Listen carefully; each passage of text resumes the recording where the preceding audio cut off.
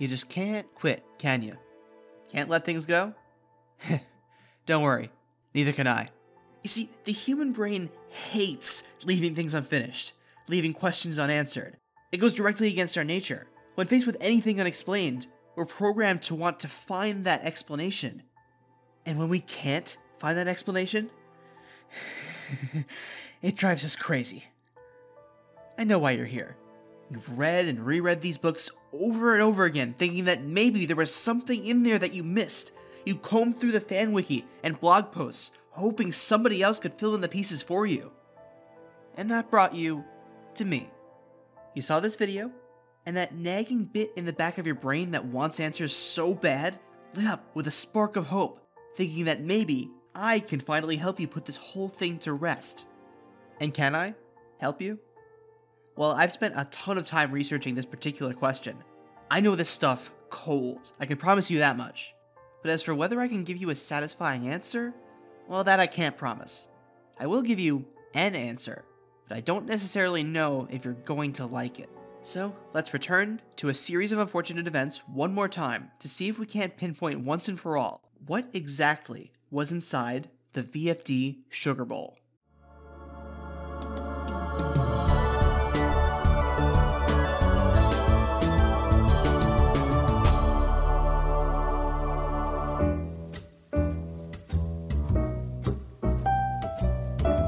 Series of unfortunate events is something I've covered extensively already. Click the card to see my previous video on it. And I've touched on the mystery of the Sugar Bowl before, but I've never made a serious attempt to answer this question until now. If you need a refresher, a series of unfortunate events tells the story of the Baudelaire orphans, as all kinds of terrible things happen to them. Along the way, they discover that their parents and the majority of other adults in their lives were part of a secret organization known as VFD, Volunteer Fire Department. VFD was once a unified organization, but some time ago, there was a schism, and two halves of VFD began to fight over some secret object that was hidden inside of a sugar bowl. The Baudelaires get all wrapped up in the fight over the sugar bowl, which rages all the way through the second to last book in the series, where the majority of both sides of VFD are wiped out and the sugar bowl's location is lost. We spend all of this time reading about the sugar bowl and having characters tell us how important it is, and we never even find out why. It's infuriating. From a narrative perspective, it might seem like the series is betraying its audience. This is a setup without any payoff, but that's not really accurate. It's critical to the story that the Sugar Bowl is never explained. For one, it's one of those mysteries that had been built up so much that no answer would be satisfying. For another, the lack of closure is, I think, what gave these books their staying power. As David Lynch once said, as soon as a story has a sense of closure, it gives you an excuse to forget you've seen the darn thing. You and I are still thinking about this story years later. The lack of answers is what makes these books so unforgettable. And if I could wax poetic for a moment, that's kind of the whole point.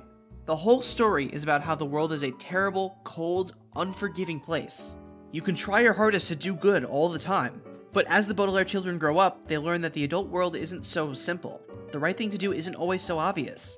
Conflicts between people have been raging long before you were born, and will continue long after you're gone, containing impossible complexities that you can never hope to fully understand. Most stories have closure, where everything is neatly wrapped up at the end. But as Lemony Snicket so often reminds us, this is not a typical story. Just like the real world, there is no closure here. That's why the Sugar Bowl is never explained. It's a symbol for all our real world questions and problems that will never be solved. We shouldn't be complaining that the story doesn't give us the answers we thought we wanted. Instead, we'd all be much better off accepting that we will never truly know these answers, and celebrate this unique, unconventional, beautifully tragic story. But that's not why you're here. You're here to find out what was in that sugar bowl. Author's intent be damned. Pfft, thematic cohesion. Give me a break. I'm gonna find those answers, and nobody can stop me. so that said, this is your last chance to walk away. Ask yourself if you can be content with letting the mystery be. Because if you continue on with me, you'll only find frustration and disappointment. Still here? Alright, let's go. Oh, and one more thing before we begin. Those of you watching who have only seen the TV show might be very confused right now. Because in the show, they tell you what's in the sugar bowl. You said the sugar bowl could help us. What's what's in the sugar bowl? Sugar. Sugar? From a botanical hybrid VFD developed to defend us against the mycelium. The thing is, this doesn't happen in the books. In the books, the Sugar Bowl is never explained. But the story of the TV show follows the plot of the books so closely. And Daniel Handler, the author of the books, helped write the show. So wouldn't that mean that this is the answer in the books too? That the show finally answered the book's question after all these years? I wish it were that simple. As much as I would love it to be true, this answer cannot be canon to the books. For reasons I'll explain in due time. My sisters and I were wondering Wondering what? if we might use your library. To start, we need to gather information, verify facts and details. I combed through every book in the series, including the spin offs and any other relevant media, to compile everything we know about the Sugar Bowl. Once we have all the info laid out, then we can start checking out some theories and trying to find one single answer that fits with everything we know. Let's start by tracking the Sugar Bowl's location during the series. If you can believe it, the Sugar Bowl doesn't really show up in the story until Book 10, when it's brought to VFD headquarters in the Mortmain Mountains. When the fire starting side of the schism burns the headquarters down, a volunteer threw the Sugar Bowl out the window to save it, where it ran down the stricken stream. It then drifted out to sea and settled in or near the Gorgonian Grotto, where it was retrieved and sent to the Hotel Denouement. There's a whole chain of schemes by both sides to intercept it, where, long story short, we're led to believe it was dropped into the laundry chute, but it was actually dropped in the pond outside the hotel. The only person who knew this was Dewey Denouement. When Dewey is killed, the location of the Sugar Bowl is permanently lost. But a quick throwaway line suggests that Lemony retrieved the Sugar Bowl from the pond outside and drove away with it posing as a taxi driver. Okay, now let's go through every time a character reveals any information at all about the Sugar Bowl. The first direct mention of the Sugar Bowl is in Book 8, where Lemony Snicket wonders to himself, was it absolutely necessary to steal that Sugar Bowl from Esme Squalor? So that tells us that before the series started, Esme had it, but Lemony stole it. However, as Esme says repeatedly, she believes it was Beatrice who stole it from her. But I want to steal from you! I want to steal from you the way Beatrice stole from me! This theft precipitated most of the conflict in the story. But crucially, it was not the start of the schism. The schism began way before this, back when Kit Snicket was 4 years old. The fight over the Sugar Bowl is just a continuation slash escalation of that conflict. In Book 10, Lemony says in a letter to his sister that he's headed to the Hotel de Denouement to recover evidence that will exonerate him of the arsons he was accused of, and prove that Count Olaf was guilty instead. He then goes on to say that her suggestion that a tea set would be a handy place to hide anything important and small in the event of a dark day has turned out to be correct. In Book 11, Captain Widdershins is determined to find the Sugar Bowl, but he won't tell anybody why it's so important because apparently, quote, people have been destroyed for knowing such enormous secrets, and there are secrets in this world too terrible for young people to know. It's fine. I'm not at all bitter that we spent a whole book with this guy and he never explained what he knew. When you write an extended mystery, you always have to have at least one character who knows all the answers but won't reveal what information they know because of reasons. Oh, but Widdershins does specify that it's not the sugar bowl itself that's so important, it's what's inside it. Both Widdershins and Olaf mention repeatedly that if the fire starting side of the schism got the sugar bowl, it would allow that side to finally emerge victorious over the fire fighting side, although they're very light on specifics. Kit and Dewey both say that if their enemies got a hold of the Sugar Bowl, it would be the worst thing that could happen, except if they got their hands on the deadly fungus Medusoid mycelium. Dewey and Jerome Squalor both say that Count Olaf wouldn't dare release the Medusoid mycelium unless he also had the Sugar Bowl. Although that's not really accurate, since Olaf is later perfectly willing to release the mycelium anyway, even without the Sugar Bowl. Esme gives us maybe the most specific description of what's inside when she says that it was really difficult to find a container that could hold it safely, securely, and attractively, and that it means something specific to the Baudelaires and the Snickets. The Sugar Bowl is given the most focus in books 10 through 12, but we get one more big clue in the final book, the end. The Baudelaires wash up on an island and learn that their parents had once lived there. They discover that their parents had created a botanical hybrid apple tree that was infused with horseradish, horseradish being the only cure for the medusoid mycelium. They read in their parents' journal that their mother, Beatrice, hid a sample of the hybrid in a vess. They're interrupted before they can finish reading, but it's implied that the rest of the phrase was vessel for disaccharides, the official VFD term for sugar bowl. That's every key detail in the main series books, but we can also find some big clues in Lemony Snicket, the unauthorized autobiography. In a transcript of a VFD meeting, the VFD member known only as R expresses worry that all the secrecy and hiding they have to do might disrupt the training of newer members, and she says that the Sugar Bowl secret might slip their minds. Also, another chapter has a list of items in a VFD disguise kit, And right at the end, it says optional materials, Sugar Bowl. In the prequel series, All the Wrong Questions, a young Lemony conspires with his friends to steal something from the higher ups at VFD, but we're never told what it is. The second book has this illustration of Kit running away holding something that might be a sugar bowl. And finally, I also have to include any statements that the author has made in real life. Daniel Handler, Lemony Snicket, has repeatedly stated that what's in the sugar bowl is what's usually in a sugar bowl. You're do right, moldy oldies. But lucky for you cats, I'm a peachy detective with a face for TV, and I've already cracked this popsicle case. That is every time the sugar bowl is brought up directly in the story. For such an important item to the plot, we know insanely little about it. We just have this small handful of facts. And most of them aren't even facts. They're just people talking around the idea of the sugar bowl and indirectly implying certain things about it. But let's see if we can get a working theory using the information we have. And there's no better place to start than with a TV show answer. Theory number one the sugar bowl contained a cure for the medusoid mycelium, a sample of the horseradish apple tree hybrid created by the Baudelaire parents. If you ate an apple grown from this tree, you'd become immune. Points in favor? The sugar bowl and the mycelium are constantly described as a pair, two sides of the same coin. Olaf wouldn't dare release the mycelium unless he also had the sugar bowl. With both the disease and the cure, you could rule the world. But much more importantly, it says right here that Beatrice put a horseradish apple hybrid sample in a vessel for disaccharides. Is that not confirmation right there in the final book of the series? And the show literally told us that's what the answer was. Of course, this is the answer. How is this not the answer? I wish, I wish it were that simple, but it just isn't. The main reason usually given to debunk this theory is the timeline. Put simply, the hybrid tree can't be what's in the sugar bowl because the fight over the sugar bowl is older than the hybrid tree. Beatrice created the hybrid tree while she was on the island, after she was married to Bertrand and while she was pregnant with Violet. That is long, long after she and Lemony conspired to steal the sugar bowl from Esme Squalor, while she and Lemony were still engaged. The whole reason she went to the island in the first place was to get away from all the fighting that broke out because of her stealing the sugar bowl. This was the explanation I gave in my original video, when I was young and naive and didn't know any better. I've seen this theory brought up and shot down so many times on all kinds of online forums, with people saying over and over that the timeline doesn't fit. So in my own research, I set out to understand the timeline better, so I could definitively prove that the theft of the sugar bowl came before the hybrid tree. But here's the thing I couldn't. The timeline is so hazy. Nothing in the story is ever dated, and everything that happened in the story before the Baudelaires were born feels like it exists all at the same time in a big timeline soup. Does it make a lot of sense for the sugar bowl theft to come before Beatrice went to the island? Yeah. Can I be 100% sure, beyond a shadow of a doubt, that it didn't come after? No.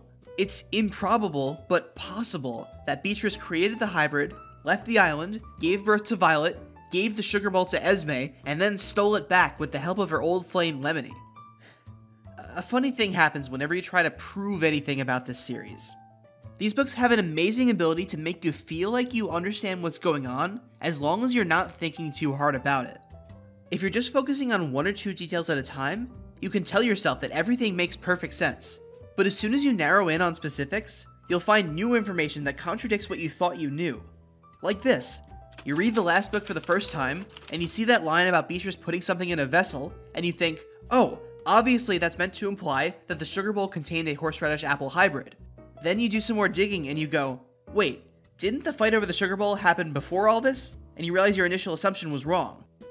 Then you dig even deeper and you go, everything points to the sugar bowl theft happening first, but nothing ever outright confirms that. The longer you think about any one fact, the more likely you are to find a reason to doubt that fact. It makes questions like these hard to talk about, let alone solve. So, does that mean that the original theory was right? That the sugar bowl did contain a sample of the hybrid tree? Uh, still no. Besides the timeline stuff, the sugar bowl having a cure for the mycelium doesn't match up with any of the other clues we have. What about Lemony saying it contains something to exonerate him for arson crimes? What about Widdershins being too scared to tell the kids what's inside? What about Esme describing how only the sugar bowl could contain this specific item? This isn't as clean of an answer as you might think. But then why did the story mention Beatrice hiding the hybrid in a vessel? How can that possibly mean anything else? Well, there are a few ways to explain this. The simplest answer is that this is a misdirect, a red herring, some trolling by Daniel Handler. The full phrase, vessel for disaccharides, is cut off, leaving room for this to be talking about another kind of vessel entirely. But most likely, this is just another sugar bowl. That's another thing about this mystery that makes things even more confusing. There are multiple sugar bowls appearing throughout VFD's history besides the main one. Remember, a sugar bowl is included in the VFD disguise kit. It seems like VFD members use sugar bowls to transport objects in secret. Maybe that's what Beatrice was doing here. Or this could still be talking about the original sugar bowl, and Beatrice put the hybrid inside after stealing it. But even if that was the case, the sugar bowl was still important and valuable before then. So, no, the horseradish apple theory isn't the answer. If you want a more thorough debunking of this theory, I've linked a blog post by Snicket Sleuth, who's kind of the theorist for these books. But for now, I need to move on. Theory number two. The sugar bowl contains an audio recording device and recorded evidence that proves that Count Olaf committed the arson crimes Lemony was framed for. Points in favor. The fact that sugar bowls are listed as an optional part of the VFD disguise kit. The thought is that members of VFD would use sugar bowls to hide bugs to record conversations when meeting someone for a meal. How else would a sugar ball be useful in a disguise kit? We're told that before Beatrice stole the sugar bowl from Esme, the two of them met for tea at least once. Esme could have spilled the beans about Olaf's plans and was unknowingly recorded. And of course, there's that line from Lemony about hiding evidence in a tea set. In writings from Lemony after the series is over, after he got the sugar bowl, it seems like he's no longer on the run. So maybe he used the evidence recovered from the sugar bowl to clear his name. It lines up pretty well. Except this evidence is all pretty circumstantial. There's no proof that this is true, it's mostly just a guess that it could be true. That line from Lemony about the tea set, to me, feels very similar to the one about Beatrice and the vessel. The book is being coy and intentionally not saying the phrase sugar bowl. Once again, it's easy to assume you knew what he was talking about, but there's no way to prove it. It leaves room for the possibility that Lemony was talking about a different sugar bowl, or even some other part of a tea set. By the way, there's already an object in the story that serves a similar purpose the Snicket file. Unlike the Sugar Bowl, we're told explicitly that the Snicket file has the evidence needed to put Count Olaf in jail. But people care way less about the Snicket file. It was important, but nobody was killed over it. If the Sugar Bowl also had this evidence, then the two items would be treated as equally valuable, but they aren't. It's also worth noting that Count Olaf doesn't care about the Sugar Bowl that much. He repeatedly makes it clear that the Baudelaire fortune is his main priority. If the Sugar Bowl had evidence against him, then he should care about it the most. I guess it's still possible that the Sugar Bowl contained an audio recording of some other important conversation, but there's no strong evidence for that. It's just a guess, so I'm going to have to reject this theory too. I'm also going to reject another similar theory for the same reasons, that the Sugar Bowl contained the poison darts that killed Count Olaf's father. Again, if this was the case, Olaf should care more. That brings us to theory number 3. The Sugar Bowl contains the Bombinating Beast statue. Okay, this one definitely requires some explanation. So, the plot of the All the Wrong Questions series revolves around the Bombinating Beast, a giant sea monster that can be controlled with a little statue of it. Maybe this is the big important thing everyone is fighting over. Points in favor. I mean, sure, I can see why so many people would want their hands on a kaiju summoner, but other than that, there's no direct evidence to support this. There's not a single detail that links the statue to the Sugar Bowl in any way. Besides, how lame would it be if the answer to this huge question was something never introduced in the original series? It's a nice idea, but there's really not that much to it. Three theories up, three theories down. Nothing fits. You know, besides the evidence against each of these theories that I've already said, I also need to point out that none of these objects feel important enough. We keep hearing that the Sugar Bowl is so valuable, but it's hard to conceive of any one thing that so many people would want. Like, if the Sugar Bowl contained a cure for the Medusoid mycelium, who cares? Just use horseradish, it's everywhere. Plus, several characters who were after the Sugar Bowl expressed surprise that the Medusoid mycelium was even still around. If the Sugar Bowl contained evidence to clear Lemony and implicate Olaf, are either of those characters so important in the grand scheme that everyone would risk their lives for their personal drama? And again, the Snicket File also exists and can do the same thing. And in the All the Wrong Questions series, nobody cares much about the Bombinating Beast besides Lemony and the people in town whom we never hear about anywhere else. All these answers, besides not fitting for logical reasons, feel pretty underwhelming. Can there even be one singular thing that all these characters care about? This is ridiculous. Once you disprove the most obvious answers, you're left with nothing. There's virtually zero information to go on. Remember what I said a minute ago about how this series can feel like it makes sense when you're not digging too deep, but as soon as you start digging deep, you find that you know even less than you thought? Well, look at what we found so far. We've collected every relevant mention of the Sugar Bowl, and in every single one, somebody says something like, The Sugar Bowl is important. I want it. Everyone wants it. My enemies can't have it. but they don't give any details whatsoever as to why. And in the only two instances of somebody giving more detail, Lemony talking about clues to clear his name and Beatrice putting the hybrid sample inside, it turns out that these moments don't even mention the Sugar Bowl directly, so we can't even be sure that's what they're talking about. I can come up with theory after theory, but there's no proof of any of them. We have nothing. There is nothing. Nothing. Hmm. Theory number four the Sugar Bowl contains nothing. It's empty. There's nothing valuable inside at all, and everyone in VFD is just fighting over nothing. Okay, I frame that as a big reveal, but this isn't a new idea. In fact, after the hybrid apple theory, it's easily the most popular answer. But doesn't it just feel right? The Sugar Bowl secret had been built up so much that no answer would ever be satisfying. And like I already mentioned, the Sugar Bowl plotline is symbolic of a lack of closure, and how in the adult world, messy, complicated fights can all start over the stupidest things. From a narrative standpoint, the Sugar Bowl is a MacGuffin, meant to advance the plot, and the fact that people want it is way more important to the story than what's inside it. Just like the archetypal MacGuffin, the Maltese Falcon, it's something that everyone fights over but turns out to be totally meaningless. For the record, this is the theory that I believe in. The Sugar Bowl is empty. Or to be more specific, the Sugar Bowl just has sugar. It's just like Daniel Handler said what's in the Sugar Bowl is what's usually in a Sugar Bowl. At this point, I'll turn your attention back to Snicket Sleuth, who, as usual, has the most thorough Sugar Bowl theory out there. They also assert that the Sugar Bowl is empty. I'll link their post below, but to summarize their theory, VFD used to train their apprentices by telling them that the organization owned a really amazing object hidden inside of a sugar bowl. In reality, there was nothing special about the sugar bowl, and it was all a distraction to keep them from prying into any other important secrets before they were ready. Eventually, the apprentices would be told the truth, of course. But when the schism happened, all of VFD started guarding their secrets a lot more closely, and a bunch of apprentices were never told that the sugar bowl was empty. So an entire generation of VFD grew up thinking that it was genuinely valuable. Throughout the series, anyone who claims to know what's in the sugar bowl either knows it's empty and is trying to mislead someone else, or they're pretending to know what's inside to save face. Lemony, Beatrice, and their associates did eventually discover that the sugar bowl was worthless. They then used the sugar bowl as bait for Count Olaf and the fire starting side, to manipulate them into committing crimes to find it, allowing Lemony to collect evidence against them. It didn't work, and Lemony ended up framed for those crimes instead. When the series came to a head at the Hotel Denouement, both sides essentially destroyed each other, while Lemony took the sugar bowl and disappeared into obscurity. And that's it. That's our answer. Huh? What's that? You're still not satisfied, are you?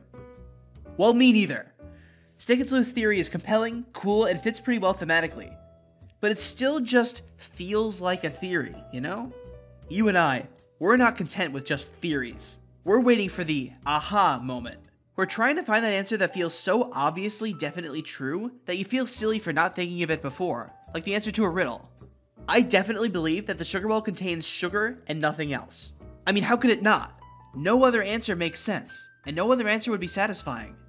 But even if we say that's definitely the answer, there are still a lot of other questions surrounding it that need answering.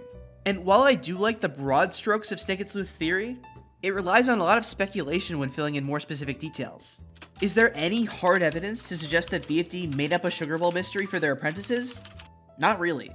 It all hinges on the fact that it seems like something they might do, and the plotline from All the Wrong Questions where young Lemony and Kit conspire to steal an unknown object from VFD, which is yet another example of something that could be the Sugar Bowl but is never confirmed. Besides all this speculation, there are three things that make this theory not sit right with me. The first is that it doesn't really account for the fact that there are multiple Sugar Bowls, VFD used vessels for disaccharides as part of their disguise kits. That doesn't fit nicely with the idea of one single all-important sugar bowl. Second, Esme. Over and over, I keep coming back to her monologue about the sugar bowl in book 12. I'll read the whole thing to you here so you can really see what I mean. then you know all about the sugar bowl and what's inside. You know how important the thing was, and how many lives were lost in the quest to find it. You know how difficult it was to find a container that could hold it, safely, securely, and attractively. You know what it means to the Baudelaires and what it means to the Snickets. And you know that it is mine. In the Netflix show, Esme just wants the sugar bowl because it completes her tea set. She just wants to get back what's hers. But in the books, this monologue tells a different story. It sure sounds like Esme has a specific thing in mind that she's describing. She seems to know for sure exactly what's inside. You could say that Esme is just an idiot who doesn't know what she's talking about, but that feels like a cop out to me. Especially since Esme is one of the only characters whom we know owned the Sugar Bowl. While it was in her possession, there's no way she didn't open it and look inside, right? Nothing about this moment jives well with the Sugar Bowl being empty. That leads directly into my third objection. And Sleuth says that everyone either knows it's empty or is pretending to know what's inside, but I have a hard time swallowing that. There are too many examples of characters behaving as if they have something specific in mind. The fact remains that even if the Sugar Bowl is empty, you also have to ask what all the other characters think is in the Sugar Bowl, because that's just as important. Sure, there are some characters who are only after the Sugar Bowl because the people around them say it's valuable, even if they don't know why. The Baudelaire orphans are in that exact position for most of the story. But I can't accept the idea that this applies to everybody. There are too many people who give too strong an impression that they know what they're chasing after. So I thought for a long time. And as I thought, I kept coming back to this detail about Sugar Bowls being part of the VFD disguise kit. Besides the main Sugar Bowl, there are multiple Sugar Bowls around. That's just a fact. Members of VFD frequently reference the idea of using Sugar Bowls or having them. But what do they use them for? And also, why would Daniel Handler include this in the story? It would be way simpler to just put one Sugar Bowl in the narrative. This muddies the waters to an almost cruel degree. This allowed him to tease the audience with an answer by having Beatrice put the hybrid apple in a vessel, without it necessarily being the vessel. Why do this? What's the point? Well, I think I can answer the first question. The reason why VFD members use sugar bowls. They're a general purpose hiding place. When you're meeting someone, for tea or whatnot, and you have an object you don't want them to see, it's useful to have a container with you to throw it inside. It's not perfect, since somebody could always decide they want sugar in their tea and open it up, this is probably where the VFD tradition of never taking your tea with sugar came from. As they always say, tea should be as bitter as wormwood and as sharp as a two-edged sword. I'm very confident that this is the case. I've mentioned the line from R about the Sugar Bowl secret slipping the minds of newer recruits, but let's look at that full quote. The Sugar Bowl secret is listed alongside two other methods that VFD uses to pass along coded messages. And the line right after the Sugar Bowl secret says, this could lead to grave misunderstandings during coded communication and we can't afford that. No mention of the Sugar Bowl's value. Her only concern is with communication. So clearly, members of VFD use Sugar Bowls to communicate with each other in secret in some way. The most logical explanation is that they hide things in Sugar Bowls messages, important objects, hidden microphones, what have you and pass them between each other. So there are probably tons of Sugar Bowls out there with all kinds of different important items inside. Wait. Hold on. That's it. That, that has to be it, right? Okay, after much deliberation, here's my theory.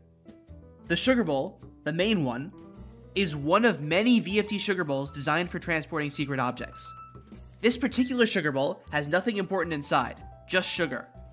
But due to a massive web of misunderstandings, everyone else thinks they know what's inside, and they all think it's something different. Let me explain.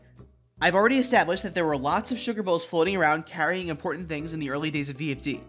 But as the series kept emphasizing, there were tons of miscommunications after the schism. VFD members refused to share secrets, even to their most trusted colleagues or apprentices, because they weren't sure who in the organization was a friend and who was an enemy. This forced members to rely on partial information and guesswork. Whereas back in the day, one member might just show another what they were carrying in their sugar bowl, now you might be surrounded by people who all have sugar bowls and won't tell you what's inside. Beatrice and Lemony stole one such sugar bowl from Esme.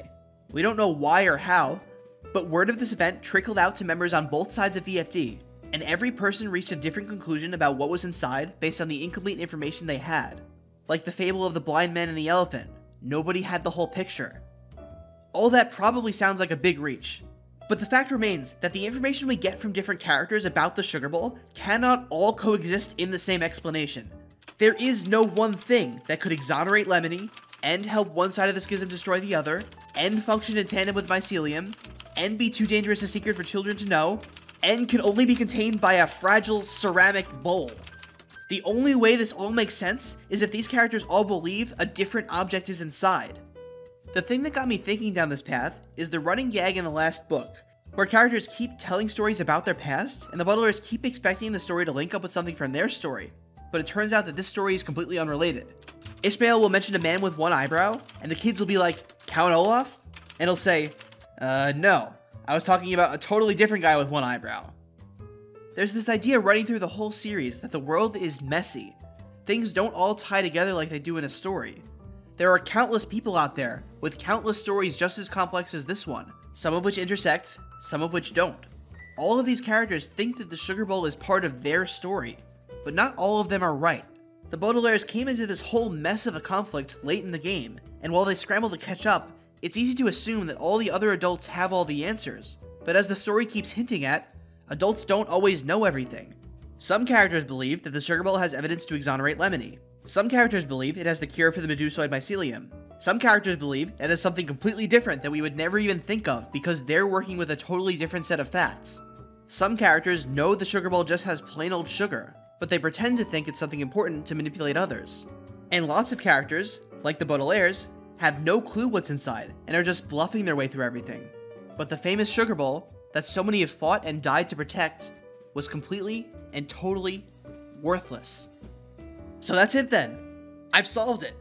This is the answer. No, I'm not sure. There was still like a million leaps in logic in there. It's still just a theory cobbled together from a lot of guesswork. And it still doesn't explain everything. Like, if this is true, I still have no clue who believes what about the Sugar Bowl. Especially Esme, who really should know what was inside more than anyone else. Like I keep saying, you can't prove anything about these books. Every fact we're given is phrased with just enough doubt that we can't say for sure that we know how it fits in. I like this explanation better than any of the other ones I've found so far, but it still doesn't feel perfect. There was still no aha moment. I haven't even mentioned the fact that Daniel Handler has said that fans have written to him with the correct answer of what's inside, but only about one person per year gets it right. Which, first of all, I call shenanigans. If the Sugar Bowl mystery had a clear correct answer, the internet hive mind would have cracked it by now. The numbers should reflect either lots of people getting it right or nobody getting it right. One person per year is crazy, a statistical absurdity. But second, Mr. Handler, that's gotta be the cruelest thing you could have possibly said about this. Because it basically makes every fan theory a non starter. Every answer someone could come up with is either way too simple and common, or in the case of my theory, way too obscure and specific.